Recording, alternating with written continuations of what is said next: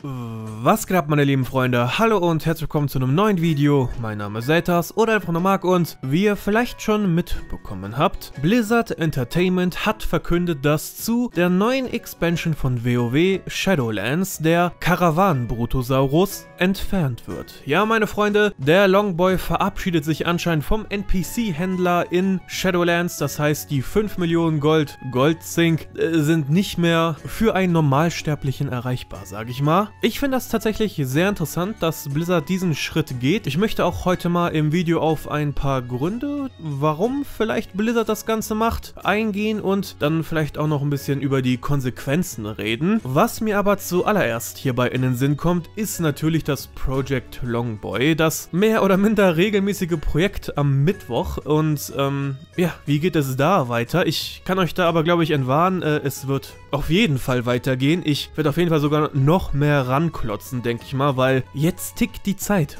meine Freunde. Äh, ich schätze mal, wenn Shadowlands so im Oktober, November, Dezember nächsten Jahres kommen sollte, bleibt uns noch so ein Dreivierteljahr. Also im Prinzip sollte es machbar sein, aber müssen wir mal schauen. Also ich bleibe auf jeden Fall am Ball, das Project Longboy bleibt auch auf jeden Fall am Start und ich würde sagen, ich rede jetzt erstmal über das erste Thema und zwar die Gründe, warum Blizzard den Longboy wahrscheinlich entfernt.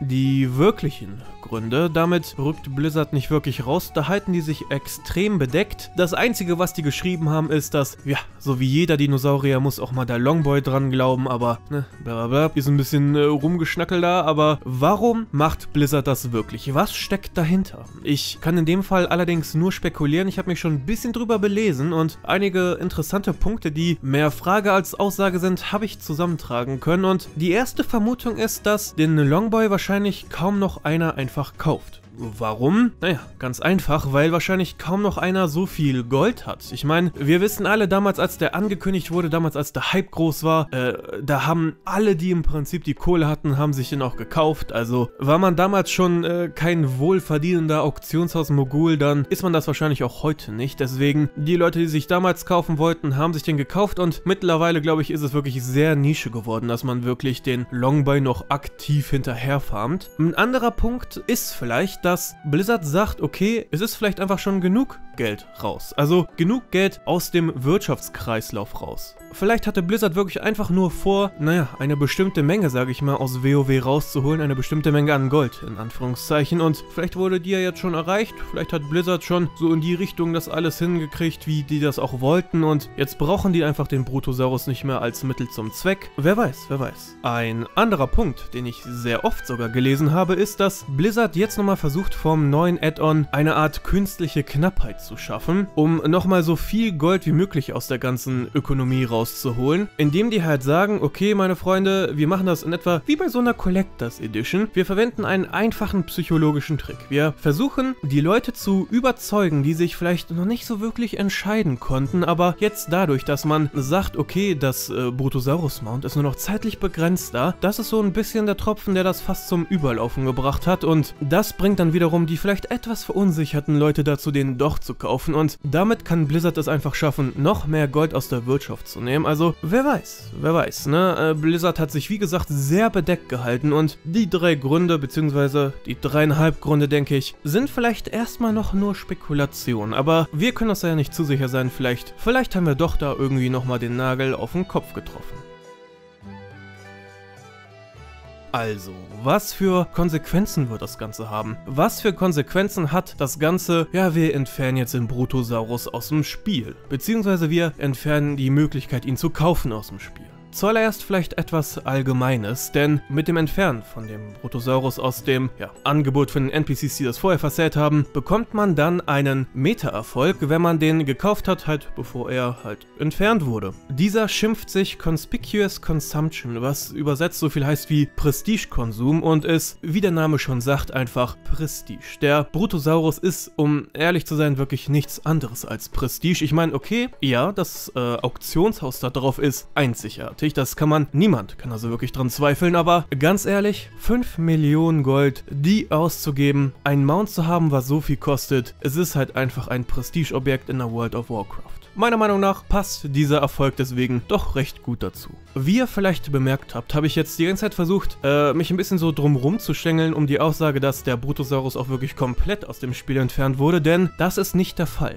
Tatsächlich werden die Zügel des mächtigen Karawan-Brutosaurus noch im Auktionshaus, also im Schwarzmarkt-Auktionshaus, erhältlich sein. Was daraus folgt, ist im Prinzip einfach, dass das Auktionshaus-Mount nur noch zu einem größeren Prestigeobjekt wird, was dann wahrscheinlich nur noch die richtig Reichen sich kaufen können, die wahrscheinlich das Goldcap haben. Also ganz ehrlich, wenn das nicht für 10 Millionen Gold da weggeht, dann weiß ich auch nicht. Es wird halt einfach ein super seltenes Mount sein mit einer einzigartigen Funktion und das wird den Preis so hart in die Höhe treiben. Ich glaube, immer wenn der im Schwarzmarkt-Auktionshaus sein wird, wird er immer für Goldcap weggehen. Eine andere Konsequenz, die ich auf jeden Fall noch ansprechen möchte, ist, dass mit dem Entfernen von dem Karawan-Brutosaurus auch, ich glaube, ein bisschen die Deflation gestoppt wird in WoW. Was heißt Deflation in diesem Zusammenhang? Naja, ich glaube, Blizzard hat nicht wirklich ein Geheimnis drum gemacht, dass die den Karawan-Brutosaurus einfach nur als Goldsink hinzugefügt haben. Das heißt, Blizzard wollte einfach so viel Gold wie möglich aus dem Spiel entfernen und in dem Sinne heißt es halt Deflation, weil das Gold, was im Prinzip danach übrig bleibt, einfach mehr wert hat, sage ich mal. Und dafür hat der Karawan-Brutosaurus auf jeden Fall gesorgt. Ich werde mal noch mal ein bisschen recherchieren, wie viel Gold vielleicht insgesamt geflossen ist. Vielleicht werde ich das mal in einem kleinen Nachtrag dann noch mal editieren in einem anderen Video, aber na, wer weiß. Aber wie gesagt, äh, die Deflation ist damit wohl erstmal gestoppt, sage ich mal. Und die Frage ist, jetzt wird mit dem Verschwinden vom Brutosaurus auch die Inflation wieder stärker einsetzen. Das heißt, wird mit Shadowlands das Gold wieder, ja,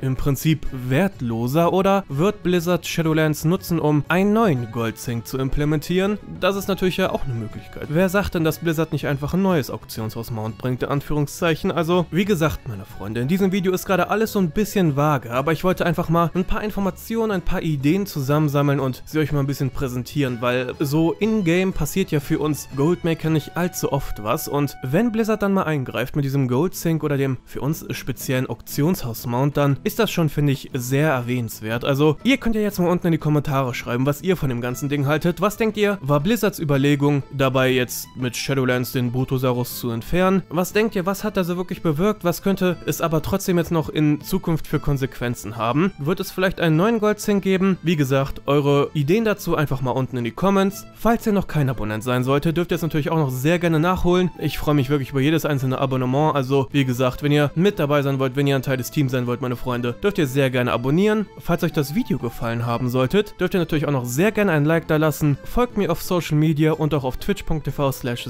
Gaming für Livestreams. Joint meiner Battle.net Community und auch meinem Discord-Server, wenn ihr immer auf dem neuesten Stand rund um den Kanal sein wollt. Aber meine Freunde, wieder vielen Dank fürs Zusehen und noch viel Spaß beim Gold machen und vielleicht den Longboy zu verdienen. Tschüss und haut rein.